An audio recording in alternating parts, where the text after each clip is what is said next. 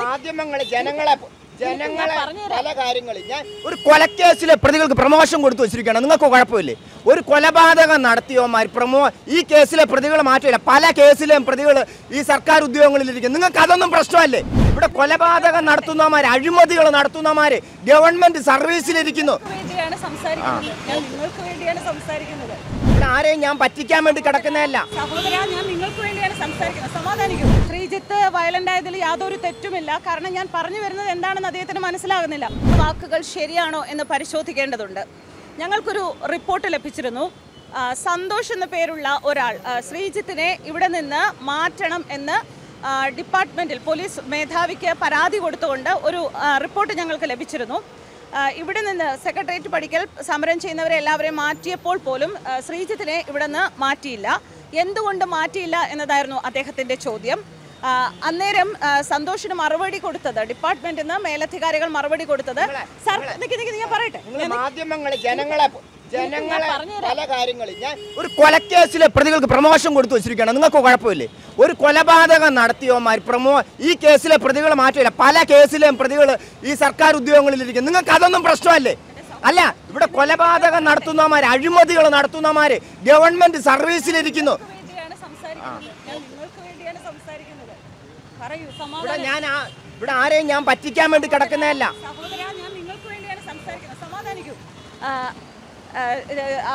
Sreejith violent ആയതിൽ യാതൊരു തെറ്റുമില്ല. കാരണം ഞാൻ പറഞ്ഞു വരുന്നത് എന്താണെന്ന് അദ്ദേഹത്തിന് മനസ്സിലാകുന്നില്ല. ഇവിടെ നിന്ന് ശ്രീജിത്തിനെ മാറ്റണം എന്ന് ആവശ്യപ്പെട്ടുകൊണ്ട് ഒരാൾ ഒരു കത്തയച്ചു അതിന് പോലീസ് അധികാരികൾ കൊടുത്ത മറുപടി സർക്കാർ അനുവദിക്കുകയാണെങ്കിൽ മാറ്റാം. സർക്കാർ എന്തുകൊണ്ട് അനുവദിക്കുന്നില്ല? അപ്പോൾ സർക്കാരിന്റെ ഭാഗത്ത് തെറ്റുണ്ട് എന്ന് തന്നെ സർക്കാർ മറുപടി നൽകുകയല്ലേ ചെയ്യുന്നത് എന്നാണ് ഇപ്പോൾ പൊതുസമൂഹത്തിൽ ഉയരുന്ന ചോദ്യം.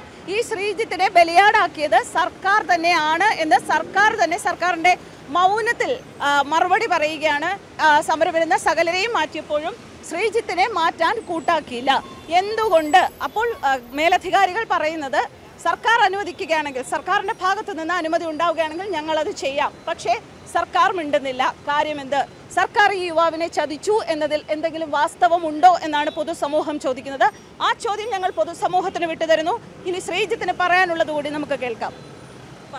എന്റെ പൊന്നു ഞാൻ ഇവരെ അതിപ്പോൾ രണ്ടായിരത്തി എന്നെ സഹായിക്കാൻ ആയിരക്കണക്കിന് ജനങ്ങൾ ഈ വിഷയത്തിൽ ശ്രമിച്ചു. സിനിമ ഞാൻ ഇവിടെ എല്ലാം പടം വെച്ചിട്ടുണ്ട്. സിനിമാ നടന്മാർ എല്ലാ ആളുകളും ഭയങ്കരമായി ശ്രമിച്ചു. പിന്നെ രണ്ടായിരത്തി പതിനെട്ടിലാണ് എല്ലാ ജനങ്ങളും ഈ വിഷയത്തിൽ ഇടപെട്ട് പൊതുജനങ്ങളുടെ വലിയൊരു ഇടപെടലുണ്ടായിരുന്നു പിന്നെ അതിനുശേഷം ഇത് ഗവൺമെന്റ് ഒരു അന്വേഷണമൊക്കെ പറഞ്ഞ് സർക്കാർ എന്തെങ്കിലും ഒരു ഇവരെന്തെങ്കിലും ഒരു നടപടി അപ്പം കാണിക്കും. അങ്ങനെ ഒരു അന്വേഷണം പറഞ്ഞ് എന്നെ ഇവിടെ നിന്ന് ഇവരെല്ലാം കൂടി നമ്മളെയും വിശ്വസിപ്പിച്ചു അവർ ജനങ്ങളെയും വിശ്വസിപ്പിച്ചു. അതിനുശേഷം സംഭവിച്ചതെന്ന് പറഞ്ഞാൽ രണ്ടായിരത്തി പത്തൊമ്പതിൽ ഇവർ സർക്കാർ തലത്തിൽ ഈ പ്രതികളായ പോലീസ് ഒരു കൊലപാതക കേസാണ്. ഒരു ചെറുപ്പക്കാരനെ കൊല്ലണമെന്നുള്ള ഉദ്ദേശത്തോടു കൂടി കസ്റ്റഡിയിലെടുത്ത് ചെയ്യുന്നതാണ്. അപ്പോൾ രണ്ടായിരത്തി പത്തൊമ്പതിൽ ഈ കേസിൽ ഭയങ്കരമായ ഒത്തുകളി നടക്കുന്നു. കേസിലെ പ്രതികൾ ഭയങ്കരമായ പൊളിറ്റിക്കലായിട്ടുള്ള സ്വാധീനം. കേസിലെ പ്രതികളായ പോലീസ് മാത്രമല്ല ഭരണതലത്തിൽ ഒരു വലിയ അഴിമതി ഇതിന്റെ പുറകിലുണ്ട്. ഈ ഈ സംഭവത്തിന്റെ പുറകിൽ അപ്പോൾ യാദൃച്ഛികമായിട്ട് എന്റെ സഹോദരൻ അതിന് ഇരയായി. അവന്റെ നമ്മുടെ കഷ്ടകാലത്തിന് എന്റെ സഹോദരൻ അവന് ഈ ഒരു അഴിമതിക്ക് എന്ന് പറഞ്ഞാൽ ഗവൺമെന്റുമായി ബന്ധപ്പെട്ടുള്ളവർ ചേർന്ന് ആ മനുഷ്യരെ കൊല്ലുന്നു അവർക്ക് ഇഷ്ടമുള്ള രീതിയിൽ അവരെഴുതി മാറ്റുന്നു. അതാണ് അഴിമതി. ഗവൺമെന്റുമായി ബന്ധപ്പെട്ട ഒരു ആൾ ചേർന്ന് ഇവർ ആളുകളെ കൊല്ലുന്നു. അവർക്കിഷ്ടമുള്ള രീതിയിൽ അതിനെതിരെ നമുക്ക് പിന്നെ അതിനെതിരെ നിയമത്തിന്റെ അങ്ങേ അറ്റം വരെയൊക്കെ പോകാൻ നമുക്ക് കഴിഞ്ഞാൽ ചിലപ്പോൾ എന്തെങ്കിലും ചെയ്യാൻ കഴിയും. നമ്മുടെ രാജ്യത്തിന്റെ നിയമവ്യവസ്ഥിതി അനുസരിച്ച് അങ്ങേ അറ്റം വരെ ഈ നമ്മൾ എന്തെങ്കിലും അത് ഇവർ എന്തെങ്കിലും അഴിമതി ചെയ്യുമ്പോൾ അങ്ങ് അറ്റം വരെ നമുക്ക് നമുക്ക് പോകാൻ കഴിഞ്ഞാൽ നമുക്ക് എന്തെങ്കിലും ചെയ്യും. ഇല്ല എന്നുണ്ടെങ്കിൽ ഇമാരെല്ലാം കൂടിയിട്ട് പരസ്പരം ഒത്തുകളി. അപ്പോൾ ഈ വിഷയത്തിൽ പൊതുജന വലിയൊരു ആളുകൾ നമ്മളെ സഹായിക്കാൻ ശ്രമിച്ചു. പക്ഷേ രണ്ടായിരത്തി പത്തൊമ്പതിൽ വന്നിട്ട് ഭയങ്കരമായ ഒത്തുകളി നടന്നു. ഒത്തുകളി നടന്ന പ്രതികളായ പോലീസ് സർക്കാരും അതുകൊണ്ട് അതിന്റെ ഒത്ത് അതിന്റെ ഇതാണ് ആദ്യം സി ബി സി ബി ഐയുടെ എന്തോ വലിയ ഒത്തുകളി. അതിനെതിരെ ലീഗലായിട്ട് അടുത്ത സ്റ്റെപ്പ് മൂവ് ചെയ്യാൻ നമ്മളെ സഹായിക്കാൻ ആരും ഇല്ലാതായിപ്പോയി രണ്ടായിരത്തി പതിനെട്ടിൽ എന്നെ സഹായിക്കാൻ പല ആളുകൾ ശ്രമിക്കുന്നു. രണ്ടായിരത്തി പത്തൊമ്പതിൽ ഈ മൊത്തം ഇത് അട്ടിമറിക്കപ്പെടുന്നു. അട്ടിമറിക്കപ്പെട്ടതിന് ശേഷം എന്നെ ലീഗലായിട്ടോ നിയമപരമായിട്ട് മറ്റെന്തെങ്കിലും ഒരു കേസാണെങ്കിൽ ഒരു സാധാ വക്കീലിന്റെ കൊണ്ടു കൊടുത്തു കഴിഞ്ഞാൽ ഇങ്ങനെയുള്ള കേസുകൾ മാധ്യമങ്ങളുടെയൊക്കെ ഒരു ചെറിയ ഇടപെടൽ ഇല്ല എന്നുണ്ടെങ്കിൽ ഭയങ്കര ഒത്തുകളിയാണ്. ഭരണ ഇവർ സർക്കാരും കോടതി ഇവരെല്ലാം കൂടി ചേർന്ന് ഒത്തുകളിക്കും. മാധ്യമങ്ങളുടെ ഇടപെടലോടുകൂടി ചില കേസുകൾ നമ്മൾ ലീഗലായിട്ട് മൂവ് ചെയ്യാത്ത പക്ഷം ഇവർ ഒത്തുകളിക്കും. കാരണം കേസിലെ പ്രതികൾ നമ്മുടെ രാജ്യത്തിന്റെ നിയമവ്യവസ്ഥിതി അങ്ങനെ അങ്ങനെയാണ് ഇവന്മാർ ഉണ്ടാക്കി വെച്ചിരിക്കുന്നത്. ഇവർ ക്രമീകരിച്ച് വെച്ചിരിക്കുന്നത്. നമ്മുടെ രാജ്യത്തിന്റെ നിയമ ഈ സിസ്റ്റം ഇവർ ക്രമീകരിച്ച് വെച്ചിരിക്കുന്നത്. അവർക്ക് അഴിമതി കാണിക്കാനും പല തെറ്റ് അവർക്ക് തെറ്റ് ചെയ്യാനും അതിനെതിരെ വരുന്ന ആളുകളെ ചുറ്റിക്കുന്ന രീതിയിലാണ് നിലവിൽ ഈ സിസ്റ്റം മൊത്തം ഇമാർ ക്രമീകരിച്ചു വെച്ചിരിക്കുന്നത്. അപ്പോൾ അതിൽ മാധ്യമങ്ങളുടെയൊക്കെ ഇടപെടലില്ല. ഇല്ല ഇല്ലാതെ നമ്മൾ എന്തെങ്കിലും നിയമപരമായിട്ടൊക്കെ ഇവരെല്ലാം കൂടി ഒത്തുകളിക്കും. നമ്മളെ പൊട്ടനാക്കി കളയുമാർ ഒരു യുവാവിന്റെ നിസ്സഹായത തന്നെയാണ് ഇവിടെ പ്രകടമാകുന്നത്.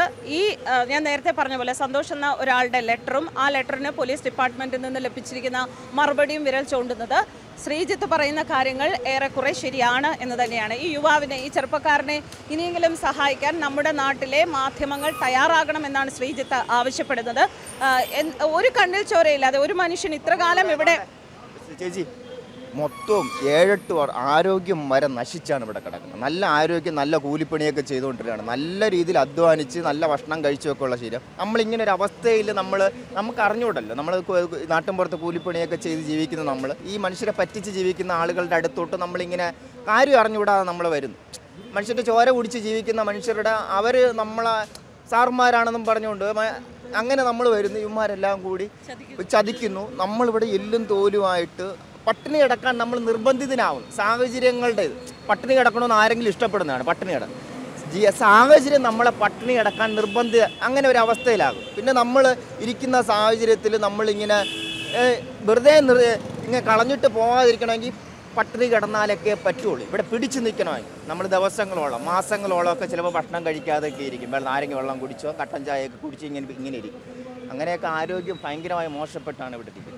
ഒരു പ്രശ്നം ഇവിടെ എല്ലാവരും സമരം ചെയ്യുന്നു ഞാൻ ഇങ്ങനെ വരുന്നു. എന്നെ പറ്റിച്ച് എന്നെ പറ്റിക്കുകയും ജനങ്ങളെ തെറ്റിദ്ധരിപ്പിക്കുകയും ചെയ്ത് ഈ അവസ്ഥയിൽ എന്നെ ആക്കിയതാരാണ് ഇവിടെ ആരാക്കിയതാരാണ് മാധ്യമങ്ങൾ ഈ വിഷയത്തിൽ. ഇവിടെ ഇവ- ഗവൺമെന്റുമായി ബന്ധപ്പെട്ടുള്ള മാധ്യമങ്ങൾ ഈ വിഷയത്തിൽ നമ്മളെ ചീറ്റ് ചെയ്യുന്നു. മറ്റുള്ള മാധ്യമങ്ങൾക്ക് പിന്നെ ഇടപെടാൻ പേടിച്ച് അവർ പിന്നെ ഇടപെടാതിരിക്കുന്നു. അതാണ് ഇവിടെയുള്ള പാർട്ടി പോലീസുകാരെയും പാർട്ടിക്കാരെ കേസിലെ പ്രതികൾ സത്യസന്ധമായ ആരെങ്കിലും ഈ വിഷയത്തിൽ ഇടപെടുകയാണെങ്കിൽ ചെയ്ത പോലീസുകാരുടെ ജോലിയൊക്കെ പോകും. നിയമപരമായിട്ട് ഈ വിഷയത്തിൽ സത്യസന്ധമായ ആരെങ്കിലും ഇടപെട്ട് നിയമ നടപടികളുമായിട്ട് നമ്മൾ മുന്നോട്ട് പോകാൻ നമ്മൾ ആ ഗവൺമെന്റാണ് ഏറ്റവും അവസാനം ഈ വിഷയത്തിൽ ആരൊക്കെയാണ് ഒത്തുകളിച്ചത്? സർക്കാരും കോടതിയൊക്കെ ചേർന്ന് ഒത്തുകളിക്കുകയാണ്. പൊതുസമൂഹം ഈ യുവാവിന്റെ കാര്യത്തിൽ ഇനിയെങ്കിലും എന്തെങ്കിലും ചെയ്യണം എന്ന് തന്നെയാണ് എല്ലാവരും ആവശ്യപ്പെടുന്നത്. എത്രയും പെട്ടെന്ന് ശ്രീജിത്തിന് ശ്രീജിത്തിന്റെ പഴയ ജീവിതത്തിലേക്ക് തിരിച്ചു പോകാൻ കഴിയട്ടെ എന്ന് ഞങ്ങളും ആശംസിക്കുന്നു.